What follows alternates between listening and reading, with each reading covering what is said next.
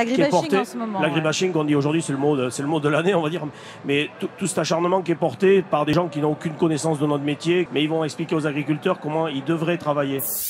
Une heure en France. Frédéric Le Tornier sur France Bleu. Bonjour Gilles Pécastin. Bonjour. Merci beaucoup d'être là. Alors dans votre parcours, j'ai lu que vous êtes fils d'agriculteur du Béarn. Oui, Est-ce que c'est je pour suis ça un landais d'adoption. ouais. Est-ce que c'est pour ça que vous avez eu envie d'élever des cochons? Oui, bien sûr, j'ai toujours. euh, j'ai- j'ai pas vécu au milieu des cochons, mais presque, ils étaient à côté. Ouais. Même si mes, mes parents avaient des, des vaches laitières, en fait. Et on avait un peu d'élevage de porc à côté. Mais c'est au cours de mes stages, pendant mes études, que j'ai découvert la, la production porcine. Et je suis vraiment passionné pour, euh, pour cet animal. Voilà. Vous êtes heureux en tant qu'agriculteur aujourd'hui? Vous- Oui, bah, bah, on est heureux. C'est c'est pas un métier facile, clairement. euh, Mais on, on peut pas le faire. On, on va pas dans l'agriculture pour la facilité. On le sait. Moi, j'ai eu un parcours euh, jusqu'à l'âge de mes 30 ans. J'ai travaillé à l'extérieur. J'étais salarié. euh, J'avais des. Mais la, terre me collait aux chaussures et j'avais envie de, revenir à la terre. Et à 30 ans, je me suis posé la question qu'est-ce que je peux faire euh, pour moi dans ma vie? Ben, C'était revenir à la terre. Donc, j'ai racheté une ferme dans les Landes et je me suis installé là.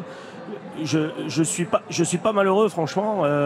même si c'est pas facile tous les jours. Ce qui est le plus dur, je trouve, c'est le c'est l'acharnement qu'on peut avoir sur notre métier. euh, qui est porté. en ce moment. ouais. L'agribashing qu'on dit aujourd'hui, c'est le mot, de- c'est le mot de l'année, on va dire. Mais tout, cet acharnement qui est porté par des gens qui n'ont aucune connaissance de notre métier, qui sont qui ont sans doute jamais vu un cochon réellement et qui portent des jugements. Comme je dis souvent, il y a des gens, ils savent pas différencier un brin de luzerne d'un rumex, mais ils vont expliquer aux agriculteurs comment ils devraient travailler. Mm. Moi, moi, personnellement, en tant qu'agriculteur, je porte pas de jugement sur le travail des autres. Je le respecte et, et avant d'en parler, je m'informe à minima ou je vais en immersion chez ces gens-là.